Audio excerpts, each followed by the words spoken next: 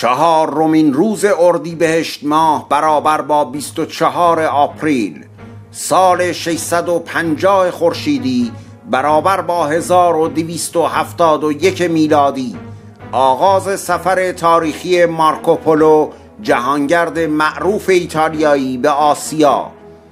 مارکوپولو تاجر و جهانگرد ونیزی قرن سیزدهم که سفرهایش را در کتابی به نام سفرهای مارکوپولو ثبت نموده تلاش کرد تا با نوشتن آنچه در طول سفرهایش رخ داده بود آسیای مرکزی و چین را به اروپاییان بشناساند.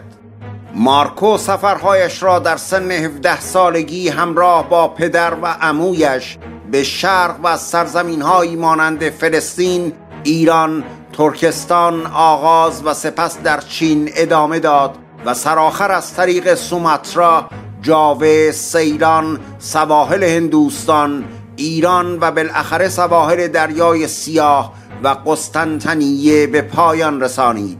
وی پس از 24 سال که به ونیز بازگشت شهرش را درگیر در جنگ با جمهوری جنوا یافت. مارکو هرچند در ابتدای ورودش به زندان افتاد اما کمی بعدتر آزاد شده و به یکی از مردان ثروتمند آن روزگار مبدل گردید. سال 1294 خورشیدی برابر با 1915 میلادی قتل عام ارامنه آسیای صغیر توسط امپراتوری عثمانی. هرچند مسئله ارامنه از دیرباز یکی از موارد اختلاف امپراتوری عثمانی و دولتهای اروپایی به شمار می رفت اما پس از پایان جنگ روسیه و عثمانی طرفین تعهداتی را امضا نمودند که بر اساس آن تأمین امنیت و انجام اصلاحات در ایالات ارمنی نشین توسط عثمانی صورت گیرد.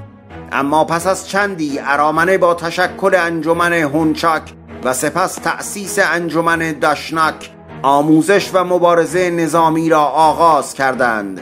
در همین زمان جمعی از ارامنه هم به دست دولت عثمانی قتل عام شدند.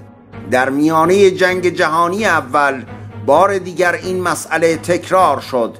یعنی ارامنه که به حمایت از تجاوزات روس ها متهم شده بودند به دست دولت عثمانی کشته شدند. از این رو جنگ داخلی از سر گرفته شد. شهر ارمنی نشین وان به تصرف ارتش عثمانی درآمد و در جریان این درگیری ها چندین هزار تن از ارامنه کشته شدند. سال 1319 خورشیدی برابر با 1940 میلادی تأسیس و آغاز بکار رادیو. اولین فرستنده عمومی رادیو در ایران و در تهران با نام رادیو تهران در حالی آغاز به کار کرد که در حدود 16 سال پیش از آن وزارت جنگ مقدمات استفاده از بیسین را فراهم آورده بود و شش سال قبلتر هیئت وزیران استفاده از رادیو و مقرراتی جهت نصب آنتن را تصویب نمود که مطابق با آن استفاده از رادیو به مجوز وزارت پست و تلگراف و تلفن منوط بود.